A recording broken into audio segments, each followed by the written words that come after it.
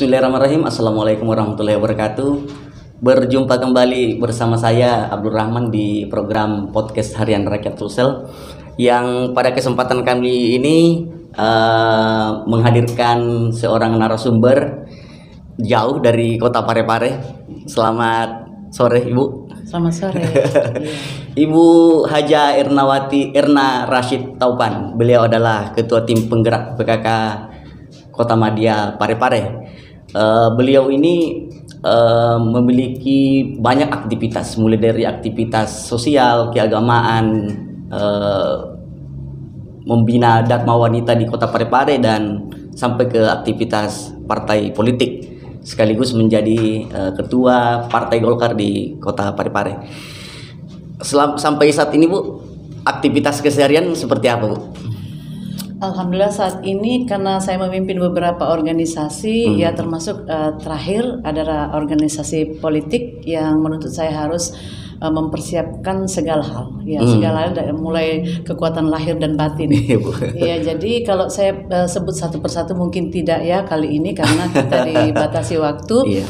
Uh, saya hanya ingin menggambarkan bahwa kegiatan saya di Parepare itu misalnya saya sebagai ketua PKK, Dekranasda, Kota Parepare, ketua yeah. Pramuka, FKPPI, mm. Forum Kajian Cinta Al-Qur'an semuanya itu dan terakhir partai politik uh, memang menuntut saya untuk harus tampil di mana-mana minimal membuka acara. Apalagi aktivitas saya di bidang dakwah juga tidak kalah uh, apa namanya uh, permintaan untuk saya tampil. Jadi uh, kegiatan saya di Parepare digambarkan begini kalau tiga kali itu sudah terlalu sedikit. Setiap hari? Iya. Iya setiap hari.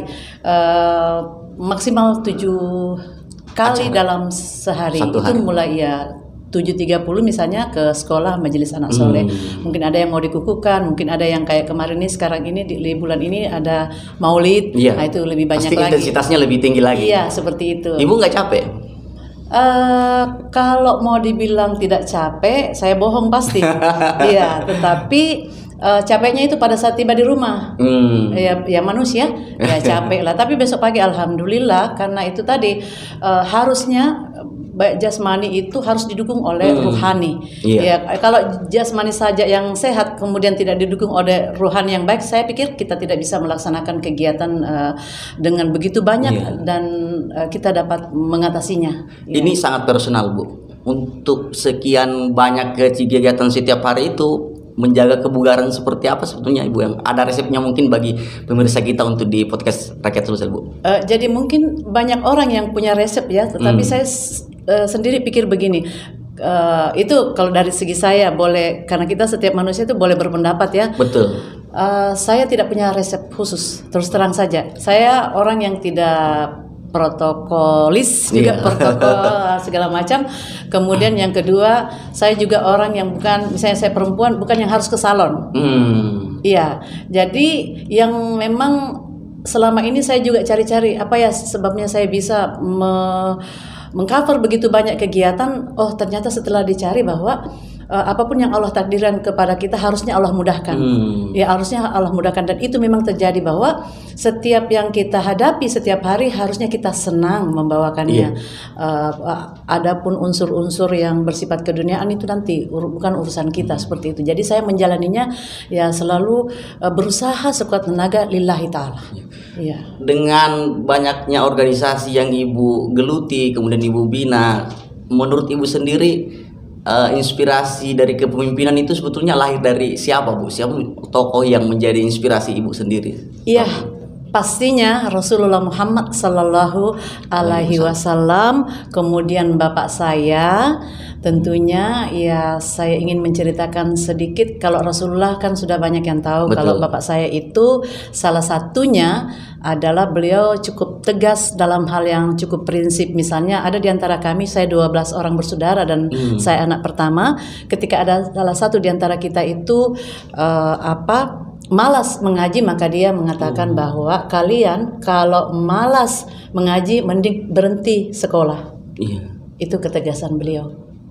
Kepemimpinan beliau yang menginspirasi ibu untuk tumbuh dan kemudian berorganisasi kemasyarakatan, sosial dan segala macam itu, Bu. Iya, seperti itu saya terapkan. Jadi hmm. ternyata bahwa dakwah secara lisan itu Ya, ada efeknya tetapi jauh lebih berefek ketika uh, dakwah bilhal, dakwah dengan kelakuan. Begitu yang diperlihatkan oleh kedua orang tak Kedua orang, orang tua tentara, Bu ya. Iya, bapak saya tentara. Artinya tegas. secara genetis memang jiwa kepemimpinan itu sudah ibu rasakan sejak kecil ya, atau iya? Mungkin, iya, mungkin itu juga, iya. Kemudian ya. uh, aktivitas di uh, mendampingi bapak sebagai wali kota Parepare, Bu, bagaimana kemudian membagi waktu antara keluarga, kemudian uh, sebagai seorang istri, kemudian banyak lagi aktivitas eksternal di luar di eh, ke organisasi itu seperti Iya, apa? alhamdulillah saya perlu sampaikan juga bahwa uh, yang menjadi patokan saya juga dalam memimpin itu ada dari Pak Wali juga hmm. sebagai suami beliau. Jadi uh, kedua orang eh, Rasulullah, kedua orang tua saya kemudian suami Allah kirimkan kepada saya untuk mengambil sisi-sisi baik dari hmm. ketiga sosok ini, terutama Rasulullah Muhammad Sallallahu Alaihi Wasallam. Jadi dalam mengikuti uh, kegiatan Bapak, alhamdulillah karena saya ini bukan saya yang meminta semua hal, tetapi uh, ada yang betul-betul didorong oleh beliau sendiri dan ya sebagai konsekuensinya beliau harus menerima saya apa adanya, iya. yang sibuk, yang apalah. Alhamdulillah sejauh ini kami masih bisa beradaptasi pernah mungkin merasa dongkol atau apa bu? Oh pernah, iya pernah kalau kalau Pak Wali itu misalnya pulang ke rumah saya tidak ada. Pasti dia ini. Pernah ada beberapa kali saya sedang ceramah kemudian yeah. dikode sama uh, ajudan bu bapak sudah di baru mm-hmm. artinya saya harus sudah stop di situ. Alhamdulillah untungnya di Pare-Pare karena Allah memberi ruang kepada kita untuk di sana sementara berkuasa. Jadinya yeah. orang tidak merasa apa-apa. Kalau tiba-tiba saya bilang maaf ya ibu ibu maaf ya Pak Wali sudah di jalan dan sudah hampir sampai ya. Saya ini ingin menjadi wanita soleha. Jadi saya pulang tidak masalah. Iya walaupun baru 15 menit saya bicara. Seperti itu keadaan kami sehari-hari. Saya harus tiba di rumah. Pada saat di Pare-Pare dua-duanya saya harus tiba duluan daripada Pak Wali. Iya, sedapat mungkin. Apa yang menjadi uh, prioritas Ibu dalam membantu uh, Bapak dalam uh, mengurus pemerintahan di Parepare, Bu? Saya tidak punya prioritas, hmm. tetapi ketika saya diamanahkan sesuatu, misalnya sekarang kan di Parepare uh, lebih banyak yang memanggil saya hmm. untuk narasumber, maka itulah yang menjadi prioritas saya hmm. sehari-hari, memberikan pencerahan kepada masyarakat dan dengan senang hati saya melakukan itu semua dalam tataran masyarakat apa pun, hmm. walaupun dia pelosok, ya walaupun dengan senang hati saya melaksanakan itu. Iya. Iya. Uh, beberapa waktu lalu ibu uh, istilahnya presentasi proposal untuk uh, yeah. penyelesaian doktor di yeah. Parepare tentang uh, politik religius. Yeah. Sebetulnya konsep ibu memandang ini seperti apa? Ya, jadi awalnya saya ingin uh, sebetulnya meneliti tentang uh, apa pendidikan karakter. Hmm. Tiba-tiba saya tergiring uh, di politik. Iya. Lama-lama saya bilang untuk uh, mempermudah saya mending saya pilih politik dakwah akhirnya berubah dakwah. politik kepemimpinan yeah. seperti itu uh, dalam perspektif Islam tentunya hmm. uh, jadi konsep saya itu memang ya lagi-lagi uh, seorang pemimpin harusnya memang meniru langkah-langkah kepemimpinan oleh Rasulullah baik beliau sebagai pemimpin dalam keluarga ataupun pemimpin umat dan hmm. terus lagi pemimpin politik Iya. Mengaplikasikannya ke dalam dunia politik di dalam kondisi seperti ini, Bu, seperti apa? Uh, sebetulnya mudah, tetapi hmm. apakah kita mau? Nah. ya, dan itu harus ada pengorbanan. Tidak mungkin Allah Subhanahu Wa Taala memerintahkan kita untuk mencontoh Rasulullah kalau kita tidak bisa. Hmm. Sebagaimana dalam firman-Nya, Auzubillahiminasyaitonirrajim, Kul in kuntum tuhibbunallaha fattabi'uni yuhabibakumullah wa yaghfir lakum dzunubakum. Wallahu ghafurur rahim. Nah, itu Allah berfirman bahwa Uh, katakanlah wahai Muhammad bahwa jika engkau betul-betul mencintai Allah maka ikutilah aku. Maksudnya ikuti Muhammad. Sunnah atau hadis. Maka Allah akan ya menghapus dosa-dosamu. Dan Allah maha pengampun lagi maha penyayang. Itu janji Allah ketika kita bisa mengikuti langkah-langkah beliau. Sebetulnya ya. bagaimana perspektif ibu terhadap kondisi politik yang ada sampai saat ini bu? Secara mungkin secara nasional atau secara lokal khususnya di Sulawesi Selatan bu saya pikir semuanya harus berproses ya. Setiap mm -hmm. masa ada pemimpinnya, setiap pemimpin, ada, masanya. ada masanya. Dan gambaran seorang pemimpin ada pada masyarakatnya. Jadi ketika ada sesuatu terjadi di negara kita, di daerah kita, di wilayah kita atau di kecamatan kelurahan sebagainya, ketika itu masalah-masalah itu tidak bisa diselesaikan dan sebagainya, jangan buru-buru menyalahkan pemimpin karena itu adalah bagian dari bagian dari masyarakat. masyarakat. Iya seperti itu. Jadi menurut saya sekarang ini lagi berproses, Hmm. lagi berproses. Mudah-mudahan nanti kita benar-benar dengan adanya proses ini kita turut andil di dalam proses itu memperbaiki suatu kepemimpinan dalam negara yang mana negara ini adalah mayoritas uh, Muslim sedunia. Sebagai ketua Partai Golkar di Parepare, pendidikan politik yang kemudian disebarkan oleh Ibu atau dalam tanda kutip didakwahkan oleh Ibu itu bentuknya seperti apa, Bu?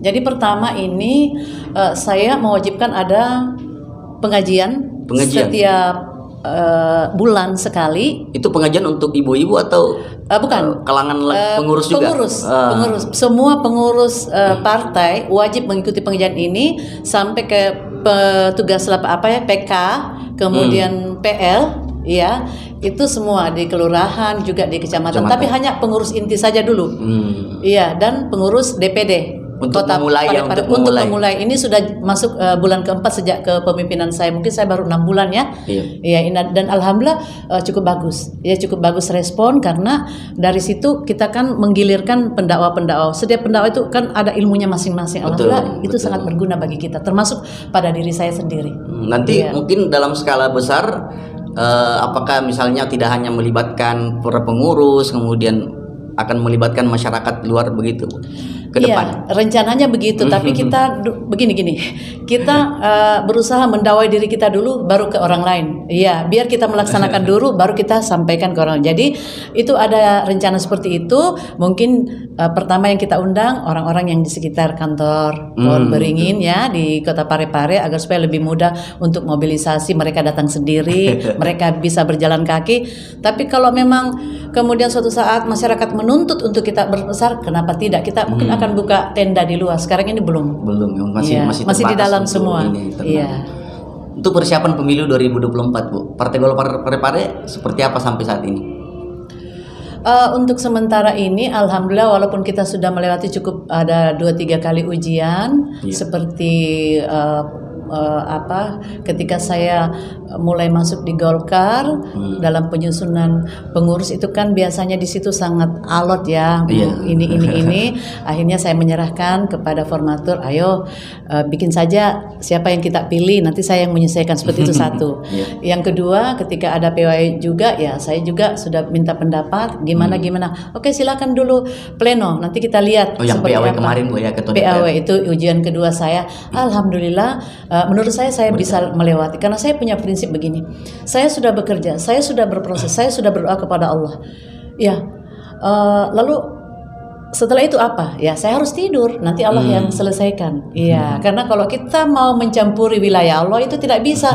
Sampai tidak bisa tidur lah, apalah. Apa pun yang terjadi itulah yang terbaik bagi kita. Wa asa antakrahu syai'am wa huwa khairul lakum. Wa asa antuhibbu syai'am wa huwa syarrul lakum. Wallahu ya'lamu wa antum la ta'lamun. Boleh jadi kamu membenci sesuatu tapi itu baik bagi kamu dan boleh jadi kamu menyukai sesuatu tapi itu tidak baik Tidak bagi baik. kamu. Allah mengetahui sedangkan kamu tidak mengetahui. Itu yang saya pegang Kemudian persiapan bakal calon legislatif sejauh ini masih digodok atau sudah rampung, Bu? Iya, eh, dua kecamatan sudah ada eh, dua juga kecamatan yang belum selesai, tapi Hmm. itu sudah ada nama semua. Tinggal waktu saya untuk duduk bersama ini yang yang yang Masih kurang. disesuaikan ya? Iya, masih disesuaikan ya. Proyeksi ke depan target Golkar Parepare di DPR DPD 1 mentargetkan kita sebetulnya 10 tapi katanya 8 sudah bagus karena kemarin 5 Lima. mudah-mudahan doakan juga ya Raka Sosial Amin, amin. Begitu ya Artinya semua partai politik pasti berlomba-lomba untuk Iya. eh, ini. Iya betul Iya. semuanya. Yang penting, yang penting kita jangan memutuskan silaturahim hanya karena partai, hanya karena mau jadi wali kota atau sekalipun eh, kita mau jadi. Kenapa saya bilang hanya hanya ini semuanya? Karena ini kan sebentar kita di dunia ya. Iya. Berarti hanya. Ya yang paling penting itu adalah kehidupan setelah ini. Itu maksud saya. Iya. Ibu mau maju wali kota Parepare? Saya. Eh nanti. jadi gini gini gini. Iya. saya itu memang kemarin betul-betul eh, kalau orang Bugis bilang C Aji C Ulu ya, apa Aji C betul-betul tidak mau ikut masuk partai politik. Hmm. Tapi alhamdulillah dunia politik walaupun saya barusan memberikan pelajaran berharga bagi saya, saya tidak boleh berprasangka buruk di dunia politik karena apa yang saya bayangkan eh mati saya di dalam dunia ini gini tidak seperti itu. Orang di di di di, di lini mana pun di di dimensi mana pun banyak orang masih baik-baik. Tergantung dari kita ya menghadapinya itu pertama. Uh, kemudian kalau saya ditanya apa mau, saya begini, tergantung dari penilaian Hmm. dari pusat, provinsi, kemudian masyarakat dan itu saya tidak mau disurvei saya yang kasih survei orang eh, bilanglah nomor satu enggak terserah siapa yang mau survei saya tidak perlu tahu Mengalir saja. iya kalau memang bagus kelihatannya ya insya Allah seperti itu Hmm. Iya, saya juga tidak mau mengikuti langkah-langkah yang eh, hanya karena ingin jadi kota, lalu saya menghalalkan segala cara. Hancurlah saya pendakwah. Betul. Iya. Ada em, kami selalu mengikuti isu-isu yang ada berkembang di Partai Golkar bahwa ada beberapa memang figur yang dipersiapkan maupun di pemilihan legislatif maupun di eh, pemilihan kepala daerah. Iya. Salah satunya Ibu informasinya ini di, akan diproyeksikan juga untuk DPR RI Senayan, Bu. Memang seperti itu ya, Bu. Ada rencana seperti itu. Jadi saya ini orang yang sami'na wa ata'na. Kalau DPP bilang Iya. Allah restui pasti Allah mudahkan. Jadi apa pun yang saya ditugaskan insya Allah saya akan berbuat untuk Golkar. Iya, untuk Golkar tapi lillahi ta'ala. iya, pasti benang merahnya harus ada di situ. Karena kalau kita tidak saya sia-sia saya capek dong. Oh iya, alhamdulillah saya sudah jadi istri wali kota dua periode. Saya pernah jadi istri pengacara, tidak pernah kekurangan dari segi materi, kedudukan, pangkat, harta sudah Allah kasih. Sekarang giliran saya mengabdi kepada Allah Subhanahu wa taala. Kalau sekarang ditetapkan eh, mengabdi di Golkar, kenapa tidak? Iya. Ibu mendorong Pak Topan Pawe maju sebagai Gubernur Sulawesi Selatan, Bu. Insya Allah mendorong. Saya percaya beliau bisa. Sudah pernah komunikasi sama Bapak, maju Pak, maju Pak atau gimana? Eh, saya tidak pernah eh, mendorong begitu saja, tetapi ketika beliau bercerita, saya bilang kenapa tidak. Tetapi eh, kita harus eh, lihat dulu situasinya. Pak Wali itu juga bukan orang yang harus-harus tidak. Beliau pernah bilang sama saya, kita lihat saja Maya kondisinya seperti apa. Oke, seperti itu beliau. Hampir sama ya Bu, keterangannya kepada wartawan. Oh ya. Mereka Pak Wali selalu mengatakan nanti kita lihat. Padahal dorongan ini ham- hampir semua DPD di Sulsel mendorong beliau untuk maju. Iya, memang begitu. Bukan beliau tidak pede, tetapi ya dia harus punya hitung-hitungan sendiri. Beliau kan juga em, eh, orang yang cukup cerdas ya. Dia tahu em, dia tahu bahwa eh, ini bisa diesaktakan, bisa dihitung. ini yang tidak bisa. Banyak hal yang kita tidak tahu yang akan terjadi. Tetapi ya dia sudah mengalami dua kali kalah dua kali Dua kali menang, menang. satu Betul. kali di dis jangan lupa ya itu saya pikir Iya, betul. uh, sudah menjadi modal bagi beliau untuk bisa bersabar bertakwa kepada Allah Subhanahu wa taala bahwa eh ternyata banyak orang yang tidak bisa lolos di dis kenapa dia bisa bukan karena beliau uh, uh, cerdas bukan ada Allah iya Tapi secara mungkin bocoran Bu ya, secara langsung apakah beliau memang nggak pernah ngomong bahwa akan persiapan maju ke 2024 itu? itu tadi dia hanya melihat ya melihat situasi dulu. Iya. M- sama pun saya begitu.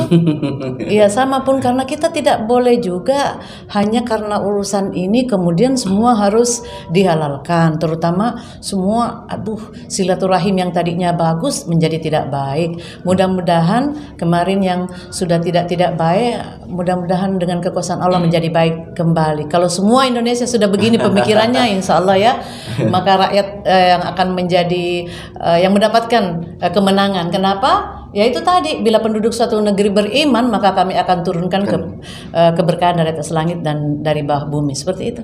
Statement terakhir Bu, harapan Ibu ke depan baik sebagai pendamping Pak Wali Kota, kemudian sebagai ketua partai, eh, ketua berbagai organisasi ke, ke sosial dan keagamaan, ke depannya seperti apa Ibu harapan-harapannya? Ya, saya hanya ingin mengatakan bahwa karena kita ini tidak mau menjadi orang yang merugi, tidak mau menjadi penghabisan yang tidak baik ya.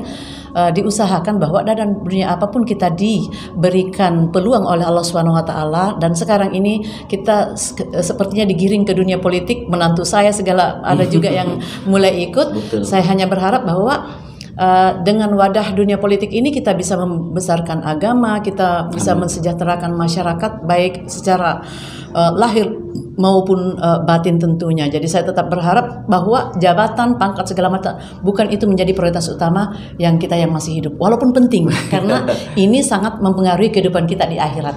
Oke, Bu. Iya. Terima kasih Bu atas kehadirannya menyempatkan waktu hadir di program podcast Harian Rakyat Sulsel. Semoga di lain kesempatan kita bisa bertemu kembali untuk perbincangan isu-isu menarik yang lain. Ya, Demikian perbincangan kami dengan Ibu Erna Rashid Taupan. Semoga hal-hal yang kita obrolkan hari ini memberikan banyak pengetahuan dan inspirasi kepada kita semuanya.